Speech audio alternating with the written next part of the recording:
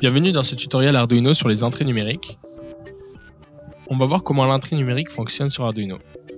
Donc on est toujours sur le même simulateur en ligne 123d.circuit.io. On a ajouté le circuit euh, à droite avec le bouton poussoir et une résistance. Donc le circuit qui a été implémenté à droite est un circuit pull-down, c'est-à-dire que lorsque l'interrupteur est ouvert, on a 0 V qui passe dans le microcontrôleur, ou encore un 0 en logique. Et lorsqu'on ferme l'interrupteur, on a les 5 volts qui partent de VCC vers le microcontrôleur, ce qui correspond à 1 en logique.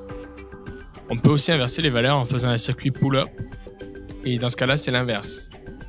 Lorsque l'interrupteur est ouvert, alors on reçoit le 1 logique, les 5 volts, et lorsqu'on ferme le bouton, alors on est relié à la masse et on reçoit 0 volts.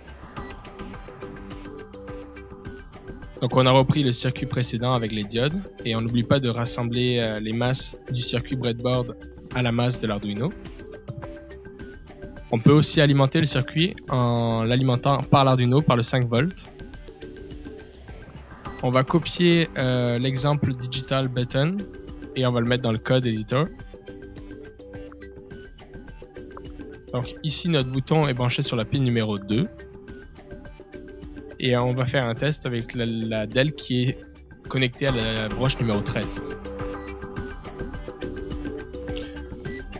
On n'oublie pas de configurer la sortie pour la LED, donc c'est une sortie et la broche est une entrée, un input. Dans la boucle infinie, on lit la valeur du bouton. Si le bouton est high, alors on allume la diode. Sinon, on l'éteint. On téléverse et on essaye en appuyant sur le bouton.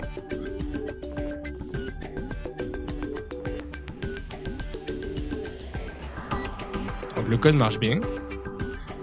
Pour voir le signal, on va pouvoir rajouter soit un oscilloscope, soit un multimètre. Donc on peut aller chercher le multimètre dans tous les composants.